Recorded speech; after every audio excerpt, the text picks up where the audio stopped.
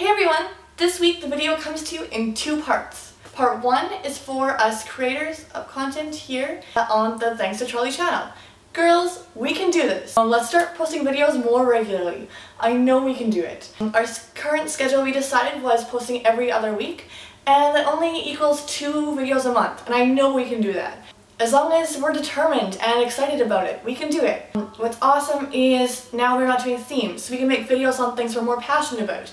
Um, Kelly, you can make videos about baking, so know you love baking. And, you know, Heidi, you can make videos with your friends in high school, or I don't know, like, we can make videos on whatever we want, but make sure that it's quality and that it's exciting and interesting and engaging. I'm super pumped to start making videos again, and I just don't want to be the only one excited about it. So let's do this. We can do it. Just determination, right? We can do it.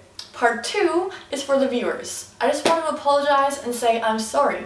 I'm sorry we stopped making videos for a while. I feel like I've let you guys down, and I've also let myself down by not posting videos as regularly as I wanted. Thank you for sticking with us. I know there's a couple of you out there who um, watch all of our videos, and that's awesome. If you see us lagging behind again with videos, definitely keep encouraging us in the comments or tweeting us. Things like that definitely help motivate us. I definitely hope that we can do better in the future, and I know we can, as long as we focus. I know we can.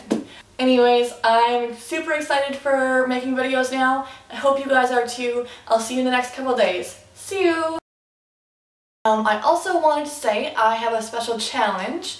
Um, I thought of it when I was at VidCon. Um, I'm not going to VidCon next year unless we hit a thousand subscribers. And I know it's a big number, but I believe, you know, if we put out quality movies and, you know, get the word out there, I know we can do it. So definitely spread the word and yeah, I'm excited. I hope I can see you guys next year. My future is in your hands.